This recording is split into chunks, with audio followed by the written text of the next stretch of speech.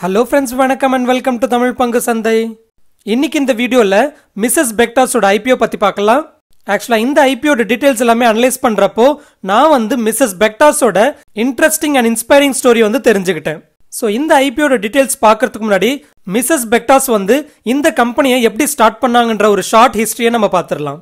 So இதோட content உங்களுக்கு பிடிச்சிருந்ததுன்னா லைக் பண்ணி உங்கள் ஃப்ரெண்ட்ஸ் அண்ட் ஃபேமிலிஸ்க்கும் ஷேர் பண்ணுங்க. நம்ம தமிழ் பங்கு சந்தை சேனலை சப்ஸ்கிரைப் பண்ண மறந்துருந்தீங்கன்னா கண்டிப்பாக சப்ஸ்கிரைப் பண்ணிக்கோங்க. அப்படியே வீடியோ டிஸ்கிரிப்ஷனில் இருக்கிற டெலிகிராம் லிங்கை கிளிக் பண்ணி டெலிகிராம் சேனலையும் ஜாயின் பண்ணிக்கோங்க.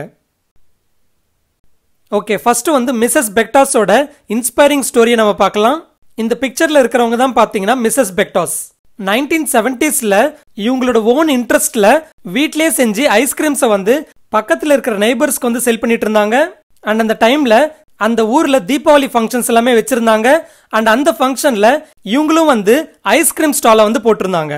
அது வந்து ரொம்பவே சக்சஸ் ஆனதுனால அவங்களோட ஹஸ்பண்ட் வந்து அவங்கள சப்போர்ட் பண்ணி இந்த பிஸ்னஸை வந்து ஒரு சின்ன கம்பெனியாக ஸ்டார்ட் பண்ணி பண்ணலாம் அப்படின்னு சொல்லியிருந்தாரு. ஸோ அப்படி முத முதல்ல வந்து த்ரீ ஹண்ட்ரட் ருபீஸ் இன்வெஸ்ட்மெண்ட்ல இந்த மிஸ்ஸஸ் பெக்டாஸோட கம்பெனி வந்து ஸ்டார்ட் பண்ணாங்க. அண்ட் அதுக்கப்புறமா கம்பெனி வந்து கொஞ்சம் கொஞ்சமாக க்ரோ ஆயிட்டு இருந்தது. அண்ட் நைன்டீன் நைன்டி சிக்ஸில் வந்து யூஎஸ்ஏக்கு சேர்ந்த குவாக்கர்ஸ் ஓட்ஸ் கம்பெனியோட சேர்ந்து ஃபிஃப்டி ஃபிஃப்டி ஜாயிண்ட் வெஞ்சராக வந்து ஸ்டார்ட் பண்ணியிருந்தாங்க. இந்த ஜாயிண்ட் வெஞ்சர்னால இவங்க வந்து மெக்டொனால்ட்ஸுக்கு லிக்விட் ப்ராடக்ட்ஸை சப்ளை பண்ணுறதுக்கு ஆரம்பிச்சாங்க.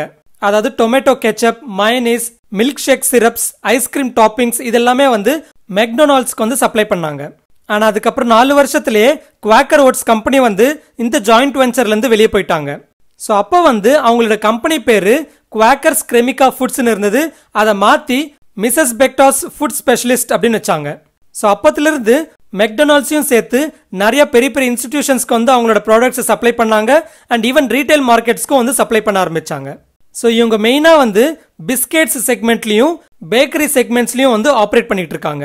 இவங்களோட பிஸ்கெட்ஸ்னு பார்க்குறப்போ cookies cream biscuits digestive biscuits crackers glucose biscuits எல்லாமே வந்து ப்ரொடியூஸ் பண்ணுறாங்க அதுவே பேக்கரி ஐட்டம்ஸ்னு பார்க்குறப்போ white bread brown bread speciality western Indian government intelligence and அதே போல் buns pizza bases and cakes எல்லாமே ப்ரொடியூஸ் பண்ணுறாங்க ஸோ இவங்களோட ரெண்டு ப்ராடக்ட்ல பிஸ்கெட் ப்ராடக்ட்டை வந்து மேனுஃபேக்சர் பண்ணுறதும் செல் பண்ணுறதும் வந்து மிஸ்ஸஸ் பெக்டாஸ் கிரெமிகா அப்படின்ற பிராண்ட் நேம்ல பண்ணுறாங்க அண்ட் அதுவே அவங்களோட பேக்கரி ப்ராடக்ட்ஸ் எல்லாமே வந்து இங்கிலீஷ் ஓவன் அப்படின்ற பிராண்ட் நேம்ல பண்ணுறாங்க அண்ட் லாஸ்டா டூ தௌசண்ட் டுவெண்ட்டி ஜூன் தேர்ட்டியத்தோட டேட்டா படி பார்க்குறப்போ பிஸ்கெட் செக்மெண்ட்ல த்ரீ எயிட்டி ஃபோர் ஐட்டம்ஸ் வந்து இவங்க ப்ரொடியூஸ் பண்ணுறாங்க அதுவே பேக்கரி செக்மெண்ட்டில் கிட்டத்தட்ட நைன்டி சிக்ஸ் ப்ராடக்ட்ஸ் வந்து ப்ரொடியூஸ் பண்ணுறாங்க அதுவே இவங்களோட சேல்ஸ்னு பார்க்குறப்போ மோஸ்ட்லி வந்து இவங்க நார்த் இந்தியாவில் தான் இருக்காங்க.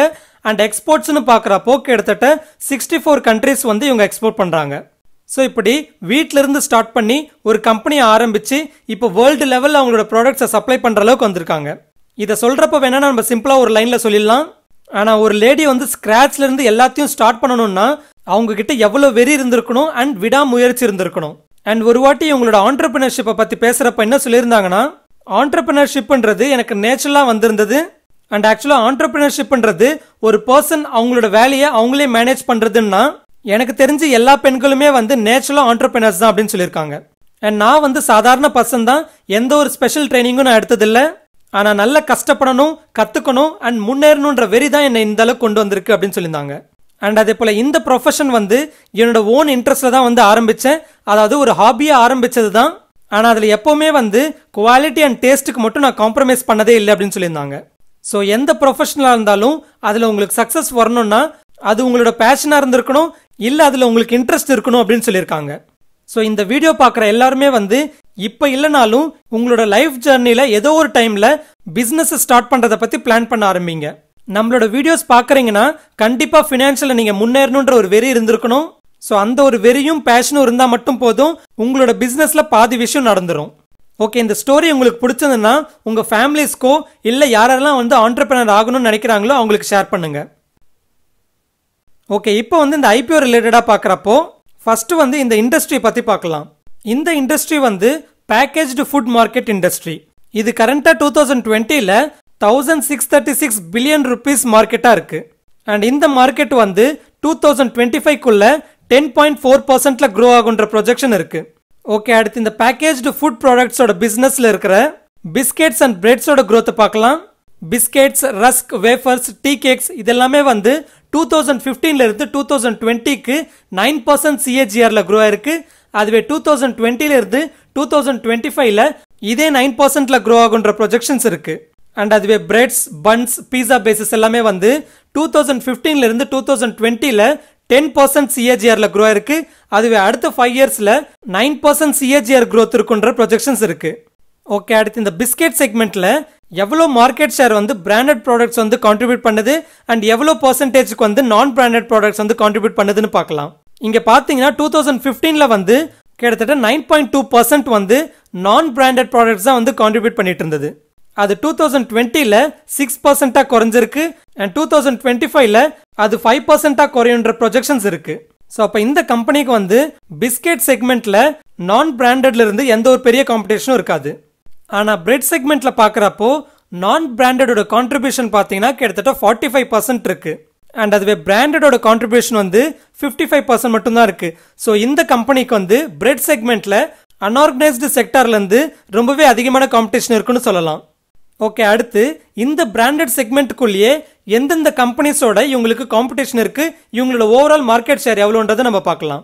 மேல இருக்கிற pie chart பிஸ்கெட்டோட market share financial year two thousand டுவெண்ட்டியோட market share படி பார்க்குறப்போ இந்த கம்பெனியோட பிஸ்கெட் செக்மெண்ட்டுக்கு வந்து வெறும் ஒன் பர்சன்ட் தான் ஓவரால் மார்க்கெட் ஷேர் இருக்கு. அதாவது பிஸ்கெட் செக்மெண்ட்ல ஓவரால் மார்க்கெட் ஷேர்ல டுவெண்ட்டி எயிட் பர்சன்ட் வந்து பிரிட்டானியா வச்சிருக்கு அடுத்து டுவெண்ட்டி செவன் பர்சன்ட் வந்து பார்லே வச்சிருக்கு அடுத்து லெவன் பர்சன்ட் வந்து ஐடிசி ஹோல்ட் பண்ணுது. அண்ட் இது எல்லாத்தையும் தாண்டி ஓவரால் பிஸ்கெட் மார்க்கெட் ஷேரில் வெறும் ஒன் பர்சன்ட் மட்டும்தான் இந்த கம்பெனி கான்ட்ரிபியூட் பண்ணுது. அடுத்து கீழே இருக்கிற பை சார்ட் பார்த்தீங்கன்னா பிரெட்டோட மார்க்கெட் ஷேரை குறிக்குது.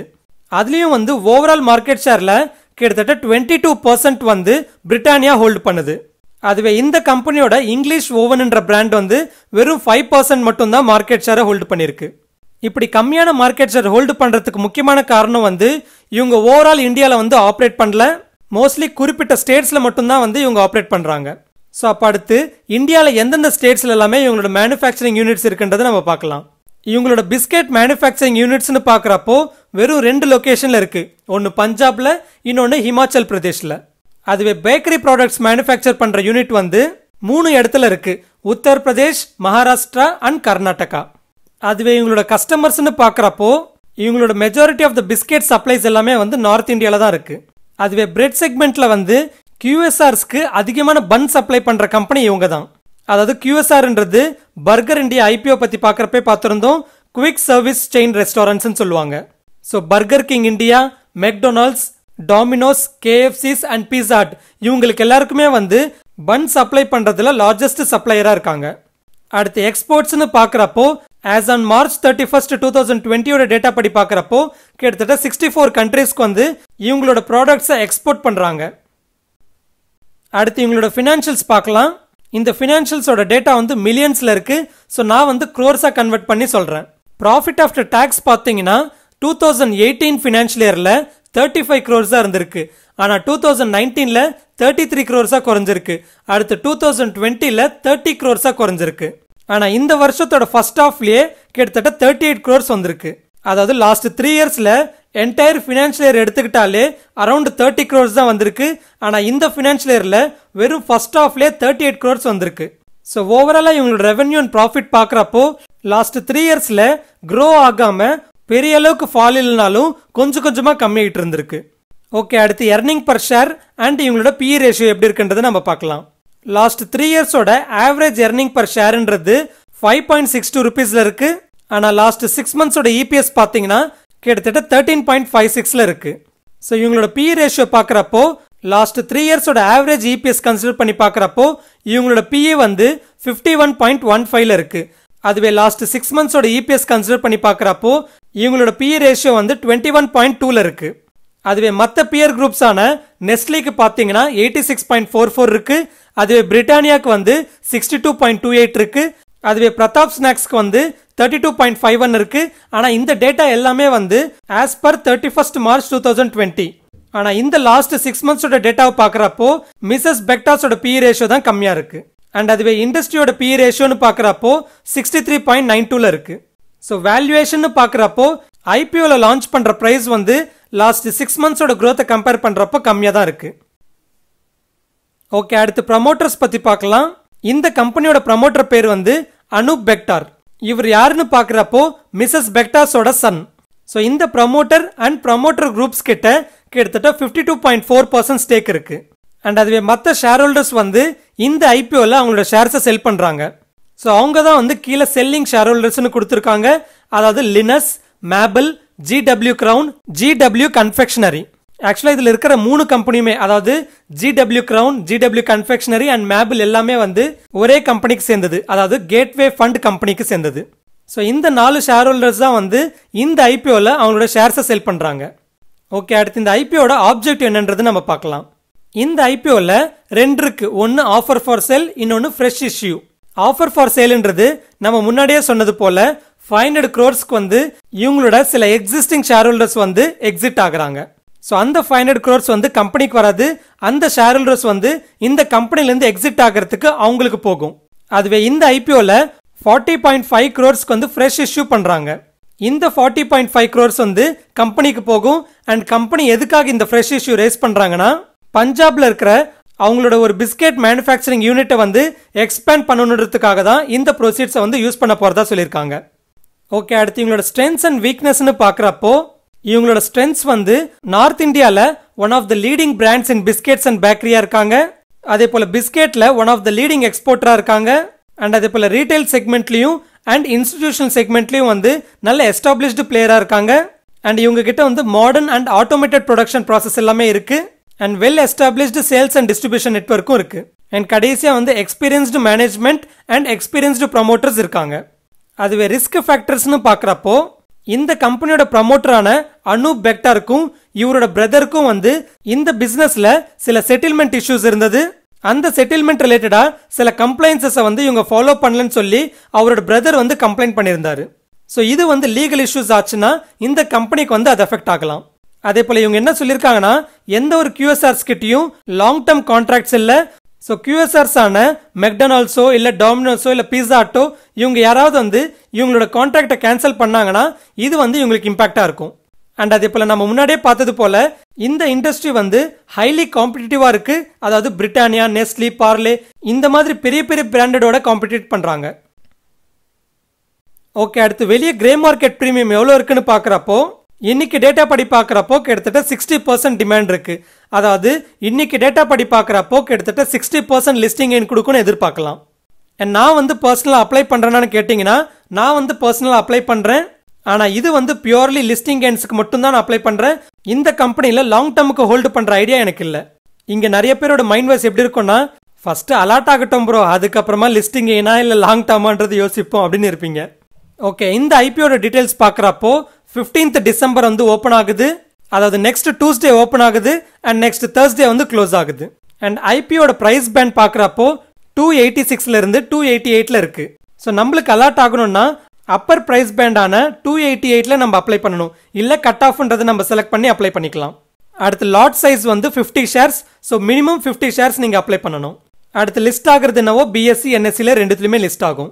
அண்ட் நம்ம முன்னாடியே சொன்னது போல ஃப்ரெஷ் இஷ்யூ வந்து ஃபார்ட்டி பாயிண்ட் ஃபைவ் க்ரோர்ஸுக்கு அதுவே ஆஃபர் ஃபார் சேல் வந்து ஃபைவ் ஹண்ட்ரட் க்ரோர்ஸுக்கு ஸோ மொத்தம் இந்த ஐபியோட இஷ்யூ சைஸ் வந்து ஃபைவ் ஃபார்ட்டி பாயிண்ட் ஃபைவ் க்ரோர்ஸுக்கு அடுத்து கடைசி இந்த ஐபியோட லிஸ்டிங் ரேட் வந்து டுவெண்ட்டி எயித் டிசம்பர் அண்ட் கியூஏபியோட கேட்டகரிக்கு வந்து ஃபிஃப்டி பர்சன்ட் ரிசர்வ் பண்ணியிருக்காங்க அண்ட் அதுவே என்ஐக்கு வந்து ஃபிஃப்டீன் பர்சன்ட் ரிசர்வ் பண்ணியிருக்காங்க அண்ட் அதுவே ரீட்டைல் போர்ஷனுக்கு வந்து தேர்ட்டி ஃபைவ் பர்சன்ட் ரிசர்வ் பண்ணியிருக்காங்க ஸோ யாராருக்கெல்லாம் வந்து பர்கர் ஐபிஓ கிடைக்கலையோ அவங்களுக்கு வந்து இந்த ஐபிஓவில் ஓரளவுக்கு ப்ராபிலிட்டி கொஞ்சம் அதிகமாகவே இருக்கும். ஏன்னா பர்கர் கிங் ஐபிஓவில் ரீட்டைல் போர்ஷன் வந்து வெறும் டென் பர்சன்ட் மட்டும்தான் இருந்தது. ஆனால் இதில் வந்து தேர்ட்டி ஃபைவ் பர்சன்ட்டாக இருக்குது ஓகே கடைசியாக வந்து நீங்கள் யாராவது ஐபிஓ பற்றி புதுசாக கேட்டு புதுசாக இப்போ தான் அப்ளை பண்ண போகிறீங்கன்னா நம்மளோட ஐபிஓ பிளேலிஸ்ட்டில் போயிட்டு வீடியோஸை பாருங்கள் ஐபிஓ பற்றி ஃபுல் இன்ஃபர்மேஷன் தெரிஞ்சுக்கோங்க. அண்ட் ஐபிஓவில் எப்படி அப்ளை பண்ணணும்னு தெரிஞ்சுக்கோங்க. அண்ட் எப்படி ஐபிஓவில் அலாட் ஆகிற ப்ராபிலிட்டி வந்து அதிகம் பண்ணலான்றதையும் நம்ம புரிஞ்சுக்கிட்டு அதுக்கப்புறமா ஐபிஓவில் அப்ளை பண்ணுங்கள் அண்ட் கடைசியாக வந்து இந்த வீடியோ எப்படி இருந்ததுன்னு சொல்லுங்கள் அண்ட் பிடிச்சிருந்ததுன்னா உங்கள் ஃப்ரெண்ட்ஸ் அண்ட் ஃபேமிலிஸ்க்கும் ஷேர் பண்ணுங்கள் ஸோ இது ஃப்ரெண்ட்ஸ் ஃபைனலி நம்ம வீடியோ ஸ்டாக் மார்க்கெட் ரிலேட்டடாக லேட்டஸ்ட் அப்டேட்ஸ் வேணும்னா டிஸ்கிரிப்ஷனில் இருக்கிற லிங்கை கிளிக் பண்ணி டெலிகிராம் சேனலில் ஜாயின் பண்ணிக்கோங்க அண்ட் இன்ஸ்டாகிராம் பேஜை ஃபாலோ பண்ணிக்கோங்க. இந்த கண்டென்ட் பிடிச்சிருந்துன்னா கண்டிப்பாக லைக் பண்ணுங்க. அப்படியே உங்கள் ஃப்ரெண்ட்ஸ் அண்ட் ஃபேமிலிஸ்க்கும் ஷேர் பண்ணுங்க. இந்த வீடியோ ரிலேட்டடாக உங்களுக்கு ஏதாவது கருத்து இருந்ததுன்னா கமெண்ட்ல சொல்லுங்க. அண்ட் நம்ம சேனலை சப்ஸ்கிரைப் பண்ண மறந்துருந்தீங்கன்னா கண்டிப்பாக சப்ஸ்கிரைப் பண்ணிக்கோங்க. இன்னொரு இன்ட்ரெஸ்டிங் வீடியோட மறுபடியும் உங்கள் முன்னாடி வர அது வரைக்கும் டேக் கேர் ஜெய் ஹிந்த்